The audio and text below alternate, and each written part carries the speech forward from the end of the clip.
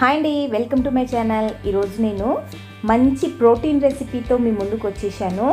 ఇందులో వాడే ఇంగ్రీడియంట్స్ అన్నీ కూడా చాలా పుష్కలమైన ప్రోటీన్స్ ఉంటాయండి. సన్నగా ఉండే పిల్లలకి కూడా వీక్లీ ట్వైస్ ఇలా చేసి పెట్టండి చాలా సూపర్గా ఉంటుంది. చాలా వెయిట్ గెయిన్ కూడా అవుతారనమాట పెద్దవాళ్ళు కూడా చాలా ఇష్టపడి తింటారు. రైస్ నుంచి రోటీ వరకు కూడా ఎందులోనికైనా సెట్ అయిపోయే రెసిపీ అనమాట ఎవరైనా ఫస్ట్ టైం నా ఛానల్ చూస్తున్నట్లయితే ఒక లైక్ చేసి సబ్స్క్రైబ్ చేసుకోవడం మాత్రం మర్చిపోకండి.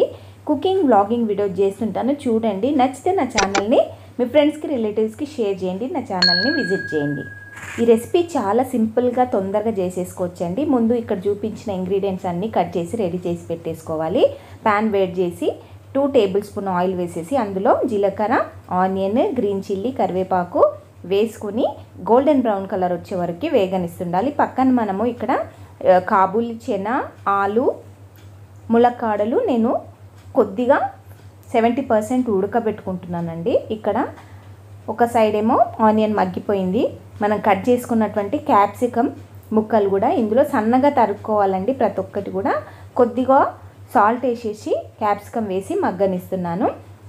ఇక్కడ క్యాప్సికమ్ మగ్గేలోపు మళ్ళీ టమాటా కూడా యాడ్ చేసుకోవాలి. అక్కడ అది ఉడికిపోతూనే ఉంటుందన్నమాట.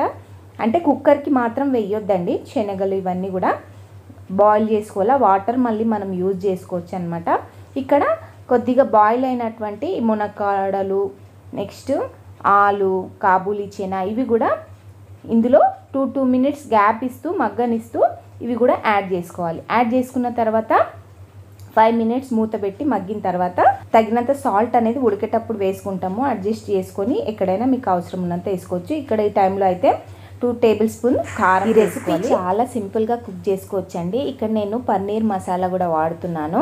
ఉంటే వేసుకోండి లేదంటే garam masala one table spoon వేసుకుంటే సరిపోతుంది. ఇక్కడే కారం పొడి ధనియాల పొడి రెండు యాడ్ చేసుకొని ఆయిల్లో టూ మినిట్స్ మగ్గనిచ్చిన తర్వాత మనం ఉడకబెట్టుకున్నటువంటి వాటర్ ఉంటుంది కదా ఆ వాటర్ని మనకు తగినంత యాడ్ చేసుకోవాలి.